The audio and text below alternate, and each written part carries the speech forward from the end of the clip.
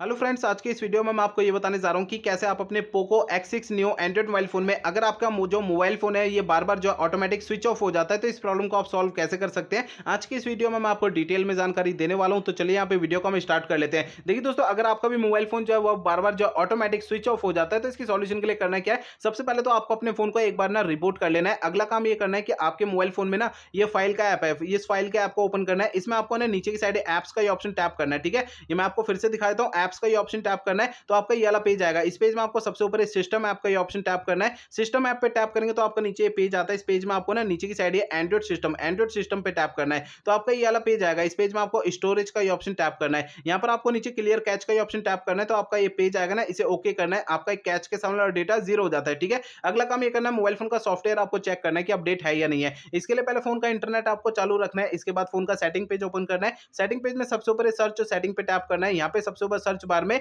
Security update आपको लिखना है, ठीक है? तो आपको सिक्योरिटी अपडेट लिखेंगे, नीचे आपको सिक्योरिटी अपडेट का ऑप्शन शो होगा, इसे टैप करना है। आपका फ़ोन डायरेक्टली आपको सेटिंग में लाएगा। सिक्योरिटी अपडेट का ये ऑप्शन आपको टैप करना है। तो आपको इस वाले पेज पे कोई भी अपडेट का बटन या डाउनलोड इंस्टॉल अगर यहाँ पे लिखा हुआ दिखाई देता है तो उसे आपको टैप करके फ़ोन का सॉफ्टवेयर अपडेट कर लेना है, ठीक है? अगला काम करना क्या आपको जो है अपने मोबाइल फ़ोन को फैक्ट्री रीसेट करना है। देखिए दोस्तों मोबाइल फ़ोन को फैक्ट्री रीसेट आपको तब करना है जब मेरे बताए हुए पिछले प्रोसेस काम नहीं करते हैं, तब आपको फ़ोन को फैक्ट्री रीसेट करना है। अदरवाइज़ नहीं करना है। फ़ोन को फैक्ट्री रीसेट करने के लिए आपको मोबाइल फ़ोन का सेटिंग पेज ओपन करना है, सबसे ऊपर आपको सर्च सेटिंग पे टैप करना है। यहाँ पे सबसे ऊपर सर्च बार में रीसेट आपको लिखना है, ठीक है? रीसेट आप लिखेंगे, नीचे आपको फैक्ट्री रीसेट का ऑप्शन शो हो जाएगा, इसे टैप करना है। अब आपको यहाँ पे इस पेज में नीचे की साइड इरेज ऑल डेटा पे टैप करना है। आपका ये पेज आएगा, इसमें आपको फैक्ट्री रीसेट का ऑप्शन टैप करना है। इससे आपका फ़ोन जो है रीसेट हो जाएगा और आपका फ़ोन जो है ऑटोमेटिक ऑफ़ हो जाता है, यानी कि स्विच ऑफ़ हो जाता है। ये प्रॉब्लम आपकी सॉल्व हो जाएगी। लेकिन आपको फ़ोन को फैक्ट्री रीसेट करने से पहले दो बातों का ध्यान रखना है। पहली बात ये ध्यान रखना है, आपके फ़ोन में जितना भी डेटा है, सभी डेटा का अपना बैकअप ले लीजिए अपने फ़ोन में। और दूसरी बात ये ध्यान रखना है, आपके फ़ोन की जीमेल आईडी और उसका पासवर्ड आपको पहले से नोट करके रखना है।